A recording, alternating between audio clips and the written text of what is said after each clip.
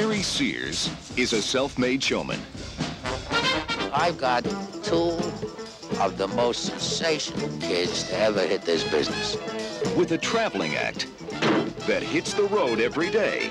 Why are we doing all the punching when we're paying all the bills? And opens every night. What a fantastic show you girls put on tonight. He's got taste. He's got patience. All right, that makes 30. There's your five cents. I have no pennies. I'll have to go inside. I'll wait. He's got clout. You can't be nice to these things. They only understand one thing. And he's got respect. He's going from the bottom of the barrel Stick with me and I'll have your name up in lights. Reno. to the top of the heap. And he's taking his boys along with him.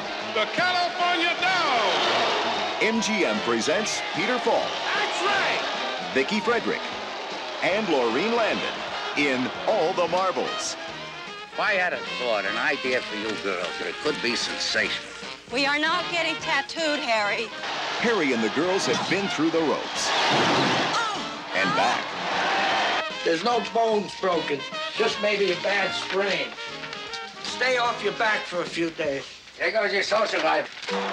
They've taken their lumps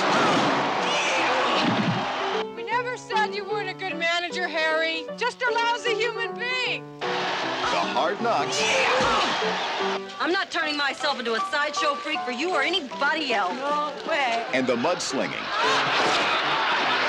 You're a lousy lover, you're a lousy manager. Now that really hurts. I am not a lousy manager. But they've always come back for more. Now the girls are a class act. They deserve to get paid.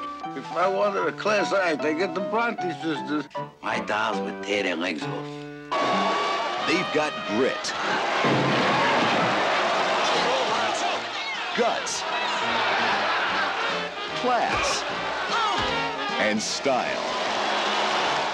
You are the champions. And the California Dolls are greedy for your title. So remember, pride. And tonight, they're going for all the marbles. We don't lose, I love you both. But we come too far to lose.